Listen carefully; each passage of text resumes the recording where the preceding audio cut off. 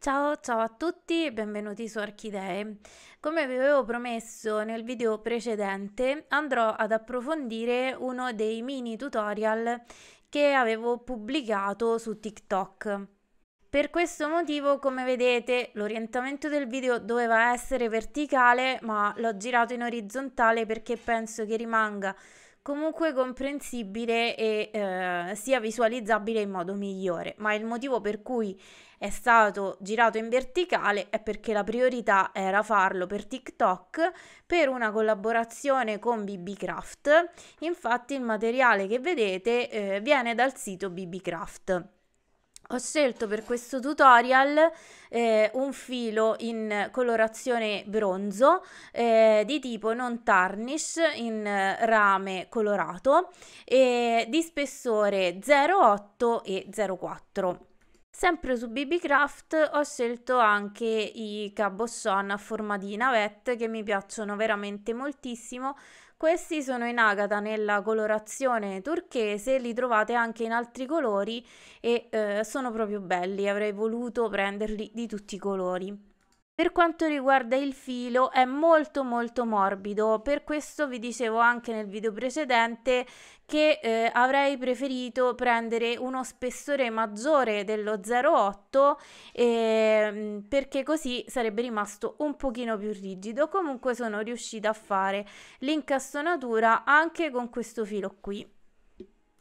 Per iniziare la lavorazione dovete tagliare 5 segmenti di filo di lunghezza 30 cm, io mi tengo sempre molto abbondante eh, perché alla fine faccio dei riccioli decorativi con il filo e, e poi tagliate 1,20 m di filo da 0,4 che è il filo da tessitura.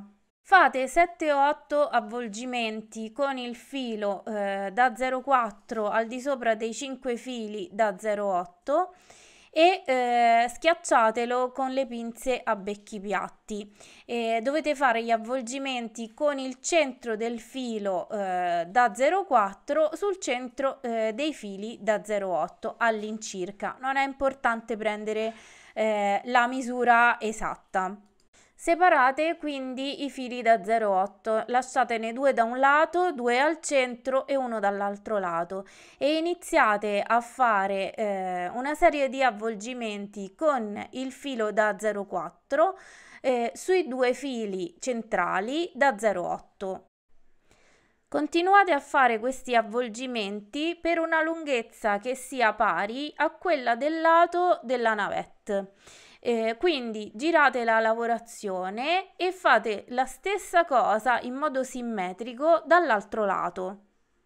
Vi ricordo che per imparare di più sulla tecnica wire wrapping partendo proprio dalle basi per incastonare eh, sia pietre che magari i vostri componenti in resina o in pasta polimerica c'è il mio corso online Gioielli Wire Wrapping e trovate tutte eh, le informazioni nell'info box del video. Quando avrete completato eh, la lavorazione degli avvolgimenti su tutti e due i lati, prendete il centro della lavorazione e utilizzate le pinze eh, a punta piatta per piegarlo proprio a punta perché stiamo andando a incastonare una navette e quindi l'incastonatura si deve appoggiare bene alla navette che nella parte bassa ha la punta. E se avessimo incastonato una goccia o un ovale, questa piegatura non sarebbe stata necessaria. Posizionate quindi la navette tra i fili con gli avvolgimenti e vedete eh, quanto manca per completare gli avvolgimenti per poter arrivare alla punta superiore della navette. Nel mio caso mancava ancora eh, qualche giro per meno di un centimetro. Eh, quando sarete arrivati alla eh, lunghezza necessaria andate a piegare le due eh, coppie di fili da 0,8 superiori e legateli insieme con uno dei due fili da 0,4 che fuoriescono dalle lavorazioni laterali. Torniamo quindi nella parte bassa della lavorazione e prendiamo eh, un'altra delle coppie di fili da 0,8 su cui non erano stati fatti gli avvolgimenti. Iniziamo a creare eh, delle E, mh, dei loop, dei giri eh, con questi due fili. Questa sarà una decorazione laterale che andrà eh, da un lato del cabochon e eh, bloccherà eh, il cabochon facendo contemporaneamente appunto la funzione della decorazione vera e propria. Io ho fatto tre moduli della decorazione, poi con la parte di filo eh, che avanzava sono andata a fare dei giri molto stretti eh, sulla struttura laterale e mh, ho tagliato il filo subito dopo i due giri che eh, lo fissavano sulla struttura laterale. Stessa cosa anche per il secondo filo. Poi dal lato frontale eh, avevo da una parte due fili e dall'altra parte un solo filo, perché se vi ricordate in tutto i fili sono 5.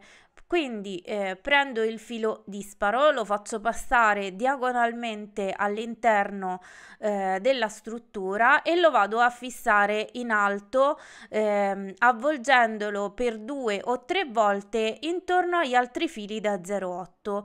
Quello che vedete adesso è quello che sarà il sostegno sul retro della mia navette. In modo analogo poi andrò a fare anche eh, la parte davanti.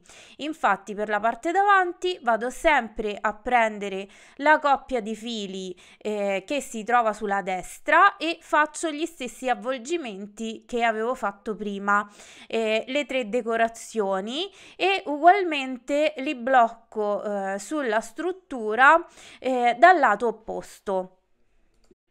Stavolta però andrò a tagliare l'estremità dei fili eh, dopo aver inserito la navette.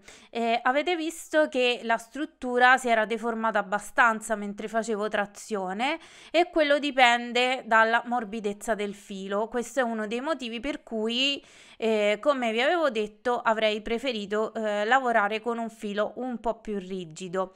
Comunque poi vado sempre a prendere il terzo filo da 0,8, lo fisso sulla struttura andando diagonalmente rispetto alla pietra. Eh, in questo modo eh, ho quasi stabilizzato la pietra. Ho portato quindi tutti quanti i fili da 0,8 nella parte alta eh, del ciondolo. Eh, vado quindi a a eh, dividere tre eh, fili da 0,8 sui quali vado a fare una serie di avvolgimenti con uno dei fili fuoriuscenti da 0,4 una serie di avvolgimenti lunghi circa un centimetro e mezzo che mi serviranno per creare eh, il cappio del ciondolo ehm, una volta completo Piego il cappio con gli avvolgimenti tramite le pinze a punta conica e poi vado a eh, bloccarlo utilizzando uno dei fili da 0,4 eh, fuoriuscente. Il filo più corto da 0,4 lo faccio rientrare nella lavorazione e poi lo vado a tagliare più vicino possibile alla lavorazione con le tronchesi per fare in modo eh, che poi non graffi quando si eh, indossa il ciondolo e ogni volta che si fa un taglio eh, bisogna poi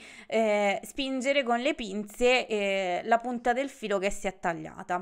Eh, per quanto riguarda eh, le parti fuoriuscenti di filo da 0,8, quelle che non sono state utilizzate per il cappio, vado a eh, modellarle in forma di spirali e le fisso sulla parte anteriore del ciondolo eh, tramite l'ultimo pezzetto di filo da 0,4 che mi è rimasto. Per quanto riguarda le spirali, per farle bene vi consiglio sempre di iniziare con le pinze a punta conica, fare il primo avvolgimento, quindi se vedete che l'estremità è un pochino dritta, vi consiglio di tagliarla con le tronchesi e poi di continuare a fare gli avvolgimenti eh, con le pinze a punta piatta. In questo modo otterrete delle belle spirali. Eh, se invece non tagliate il primo pezzettino dritto della spirale, eh, ammettendo che non lo abbiate piegato benissimo con le pinze a punta conica rischiate poi di eh, ritrovarvi delle spirali mh, con dei bozzi un po' triangolari. Quindi mh, il taglio iniziale serve proprio ad avere un bel cerchietto all'inizio. I fili del gancio li ho fissati sul retro, il filo da 0,4 l'ho tagliato tra una spirale e l'altra così che non fosse pungente e questo è eh, il ciondolo completo. Spero che il progetto vi sia piaciuto, mi raccomando lasciatemi un like, iscrivetevi al canale, attivate la campanella delle notifiche se ancora non lo avete fatto e venite a seguirmi su TikTok dove sono Archidee e su Instagram dove sono Diana Archidee così eh, potrete vedere tutti i miei progetti in anteprima. Io adesso vi saluto e ci vediamo al prossimo video. Ciao ciao!